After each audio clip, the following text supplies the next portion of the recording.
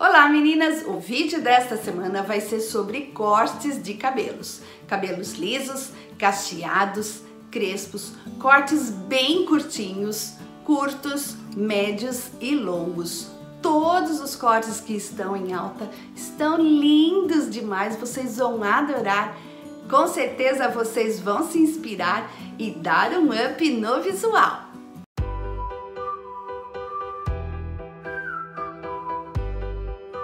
Para quem ainda não me conhece, me chamo Márcia Diniz, tenho o canal Moda Mais 40 anos, aqui eu dou dicas de moda para você se vestir sempre bem, saber comprar e comprar a roupa certa para o seu tipo de corpo. Se você está vindo hoje uh, pela primeira vez no canal, seja muito bem-vinda.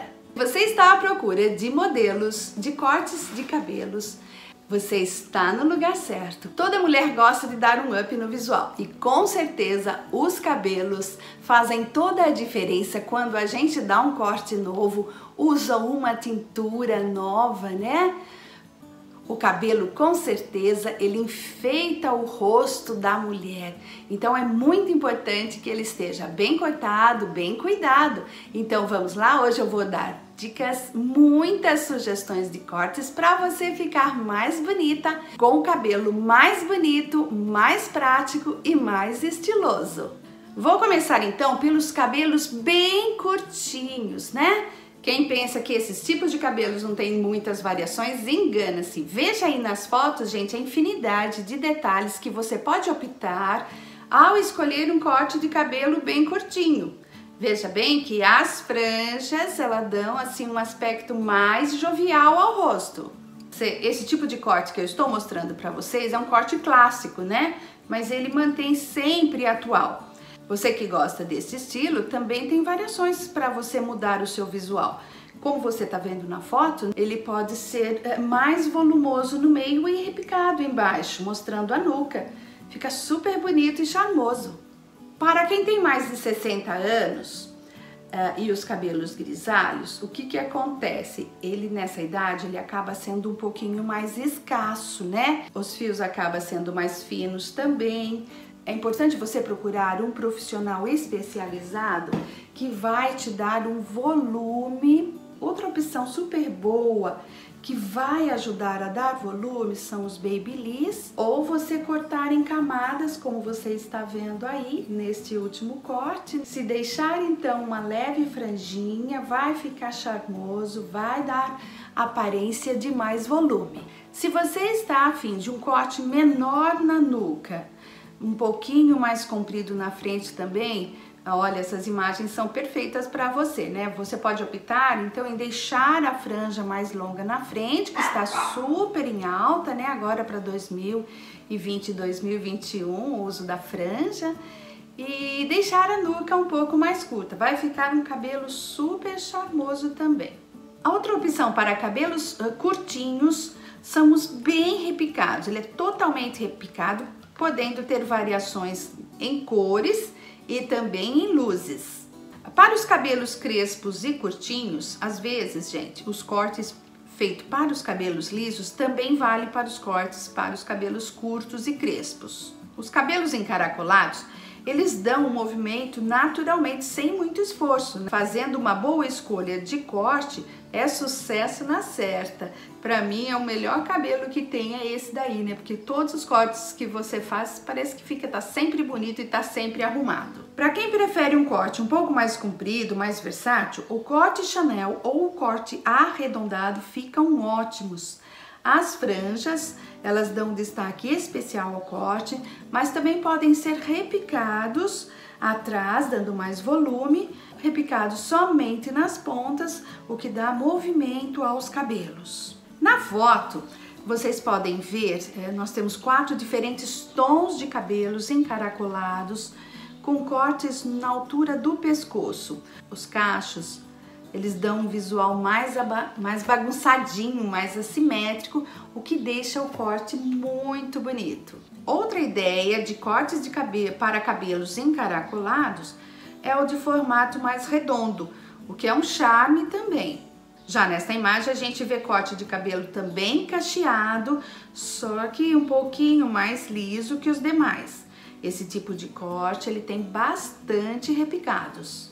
Nesta foto vendo, vemos lindos modelos de cortes mais arredondados para cabelos encaracolados. Vocês podem perceber que esses uh, cabelos também possuem luzes, o que deixa o visual ainda mais lindo. Cortes para cabelos lisos médios. Se você não gosta do seu cabelo muito longo e nem muito curto, Uh, esse corte de cabelo na altura média, ele é muito bom, ele é muito prático, né? Ele fica um pouco aqui abaixo dos ombros. No caso do cabelo repicado, né, as mulheres que utilizam pode ficar com uma aparência mais chique, mais elegante. O cabelo fica assim bem irregular, ele acaba ficando até assim meio bagunçadinho, né? Como se a gente tivesse acabado de acordar, mas é aí que tá o charme dele, gente. É um corte lindíssimo para quem tem um cabelo bom, que fica bonito, esse corte com repicado, aproveitem porque é um cabelo bastante charmoso. E aí meninas, estão gostando das dicas? Se estiver gostando, deixa o joinha, se inscreva no canal, clica lá no sininho, né? E depois compartilha o que vocês acharam do vídeo. Mas ainda não acabou não, vamos continuar. Cortes para cabelos médios lisos. Na imagem, a gente pode ver uh, diferentes cores de cabelos. Eles estão também repicados ou em camadas ou somente embaixo. Também possui uma leve franja que, como eu falei, está super em alta agora para 2020 e 2021. E por fim, a gente pode ver aí os cabelos mais longos, lisos, cortados em V, só que mais arredondado, ele não vai ter aquele bico atrás, tá? Agora está usando ele mais redondo. Pode ser usado também retinhos, num fio só, assim como ele pode ser repicado um pouco na frente, trazendo leveza ao rosto, ou repicado em camadas também. Não podia né, deixar de destacar os grisalhos lisos longos, lindíssimos, né?